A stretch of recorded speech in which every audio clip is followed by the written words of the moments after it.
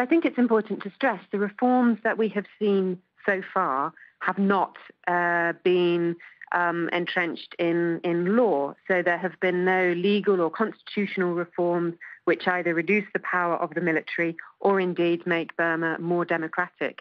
So these are welcome first stages, but it is a very, very long way from uh, anything uh, closely uh, approximating democracy.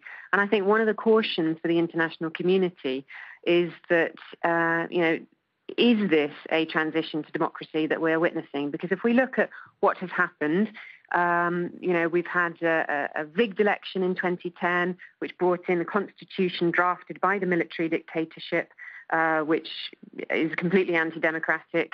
Um, and we have President Thein Sein, who's been at the heart of the military dictatorship for 40 years, including a role in uh, crushing the uh, democracy movement in, in 1988 and all the repressive laws are still on the books. We haven't had any constitutional review. Um, there are still hundreds of political prisoners. There are still serious human rights abuses that are, you know, could be classified as war crimes and crimes against humanity.